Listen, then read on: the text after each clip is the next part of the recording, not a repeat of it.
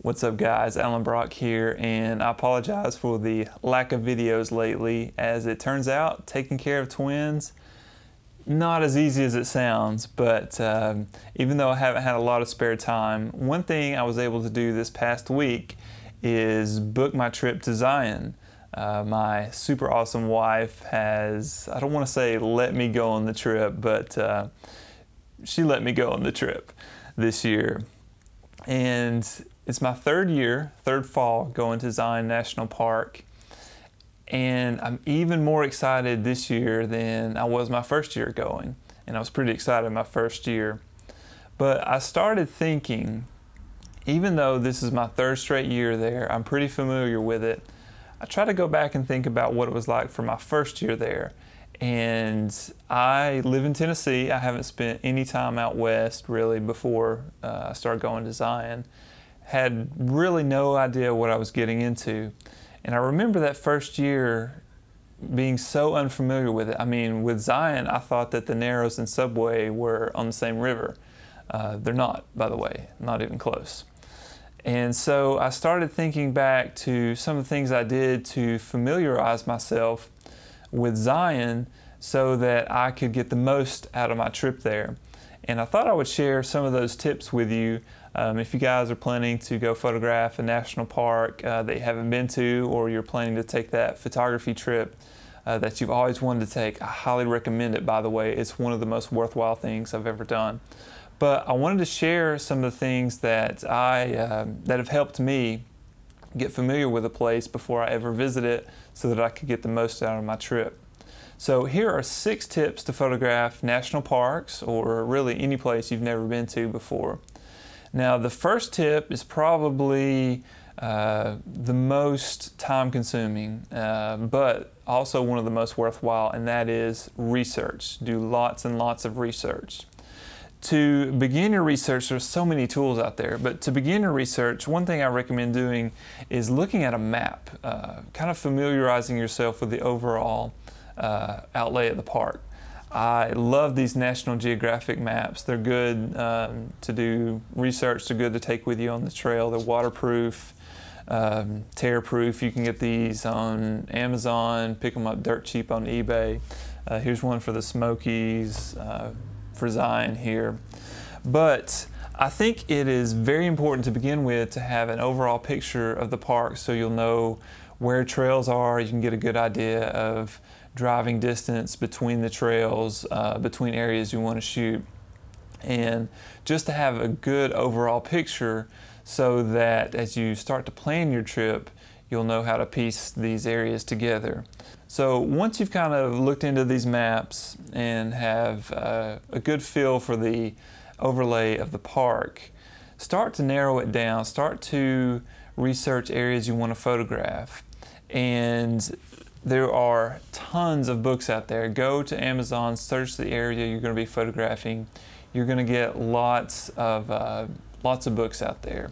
This one, Photographing the Southwest, is what I used for uh, Zion and Bryce the first year I went. Um, you're going to get a lot of kind of inside information. You're going to get um, some of these books. This one's particularly well written. They'll give you suggested focal lengths, um, hiking time, hiking difficulties. It's going to be mostly iconic images, which is okay. I'll get to that in just a second. But uh, really good information in uh, if you're going to photograph southern Utah, I highly rec recommend this. But there are books for everywhere Yosemite, the Tetons, uh, Yellowstone. So go to Amazon and just type in photographing whatever park you're going to get to. Odds are you're going to find a lot of resources there. But don't just limit it to photography books. I really like just trail guides, these Falcon guides, hiking Zion and Bryce. I've got the same one for uh, the Smokies. Um, it's just fun to get out and explore and hike, not just for photography, but just to see the park you're visiting but I've uh, kind of mined a lot of little tidbits from just these hiking books. So don't just limit uh, your reading to photography books. Uh, check out hiking guides as well. And then the final bit of, uh, I guess, literature book-wise is um, that I recommend is Zion has uh, a place called Zion Adventure Company, and they've got all these little uh, brochures about the Narrows, uh, overall hiking Zion. I've got a few in here from Bryce, a few from the Smokies. Uh, just any information you can get your hands on, soak it up. Obviously, um, internet is a huge resource. Type in photographing Zion, and you're going to get tons of uh, tons of tips, tons of tricks. Uh, for Zion, there's a website out there called Citrus Milo. I'll put a link to it right here. Uh, it's just chock full of photography information, hiking information. Uh, really, really good resource. And there's resources like that for all the national parks. YouTube, also a good source. Um, again, don't limit it to photographing. I'll go back to Zion because it's what I'm now most familiar with. But the only photographer I follow on YouTube uh, that does these photography trips is Ben. Uh, most of the guys I follow that do work in Zion are actually just these uh, hiking channels or overnight backpacking channels. Just uh, I like to follow their adventures, kind of see what a hike looks like, and that gives me a lot of information before I go out there, and I can kind of know what to expect. So, tip number one do lots of research. It's going to be a little bit time consuming, but definitely well worth it. So, tip number two once you've got uh, your research in mind, start to make a shot list for the days that you're going to be there. Now, some people don't want uh, such a regimented trip, and I completely understand that. But you're going to get there, and odds are, if it's your first time there, you're going to be so overwhelmed. There's going to be so much new to see that you're just going to want to photograph everything, and you'll kind of start to lose uh, lose focus a bit. So I recommend writing down a shot list, writing down images you absolutely want to get.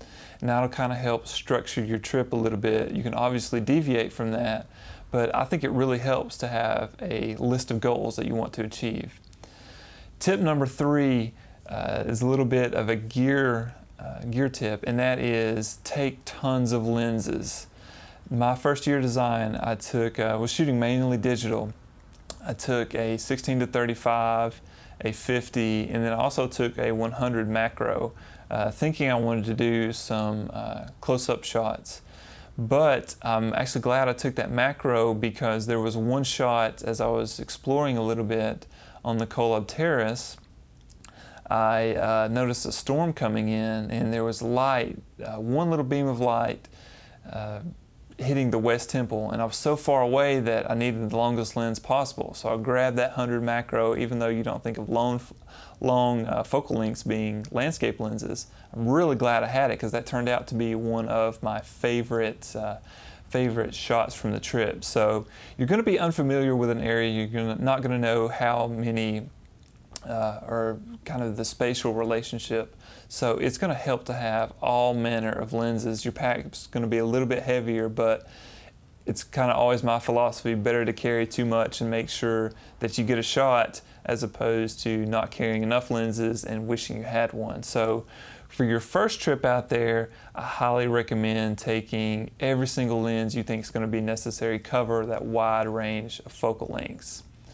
Um, tip number four this kind of goes back into planning your overall trip, but length of your trip, I recommend at least a week. That's going to let you uh, give some days in case weather doesn't cooperate. You'll have plenty of other times to shoot. It's also going to give you some time to just explore the park, to not feel like you have to be shooting every single second, just to kind of take a laid back approach and really uh, see what the park's all about. Uh, and I think that exploration is really important so that you can start to maybe plan future trips there. Also, you're not going to have so much pressure on yourself to feel like you have to be photographing every single second. You're going to be able to, again, take a laid back approach and really uh, have plenty of time to get the shots you want without feeling stressed.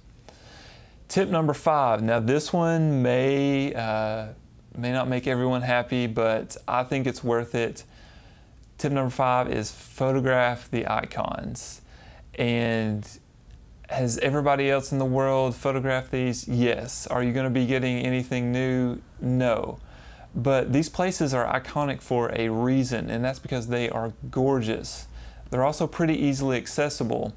The reason I recommend photographing them is because I think it's worth it. I think there's a lot to be said to come back with images that are really good.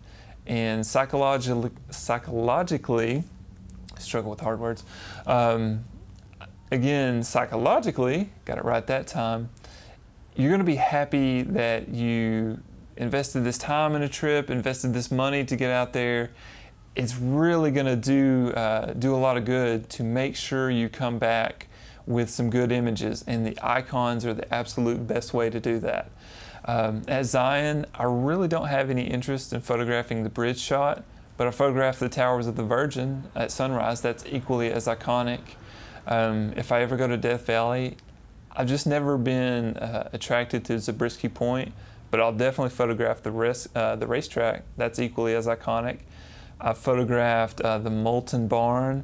I've driven up to Clingman's Dome at sunrise in the Smokies and uh, stood right beside my car and photographed sunrise there. That's iconic. The first thing I do when I go to Yosemite, I'm going to photograph uh, tunnel view. I'm going to do it in black and white, just like Ansel Adams did. So these these locations are gorgeous. Um, and I definitely think it's worth it to photograph the icons. Everybody's done it, and no one's going to think less of you. So make sure you get those good images from your iconic locations. So this brings me to tip number six, my last tip, and it's the most important. Once you've done your research, once you've made your first trip out there, you've explored, you've taken your photographs of the icons, go back go back in another year, go back in a different season, see how it's changed. You've explored, you've started to get a feel for the park. Go back, take your own shots now. I remember uh, last year, my second year there, as I was planning the trip, I had a feel for the park and I started to uh, take some or envision some shots that I hadn't ever seen before. And it's so worth it. You're gonna just get a better feel for the place. You're going to get familiar, familiarity. Having trouble talking today. You're going to know what the place looks like. Let's go with that. Um, and you're going to start to be able to plan out your own shots to go away from the shots that you saw from the first time. And that's really going to make your experience that much more special. I highly recommend going back. This is my third year to Zion. Um, definitely not going to be my last either. I'll go back year after year because I want to become as familiar as I can with the place. I want to see it in different weather conditions. Um, also, it's just really cool to go back to uh, to see people doing the same thing. Uh, it's going to be kind of a mini reunion this this year with people I hadn't seen for a couple years, people I hadn't seen since last year. So it's a lot of fun to go back and revisit a place uh, to see familiar, familiar faces. It's just like visiting an old friend. So I hope this helps. I highly, highly recommend taking photography trips. Um, it's, again, one of the most worthwhile things you can do to really spend at least a week in a place, uh, someplace new to branch out.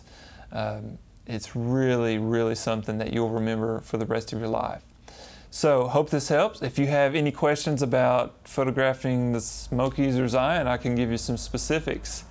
But uh, if the twins cooperate, I'll see you guys sometime soon. Thanks for watching.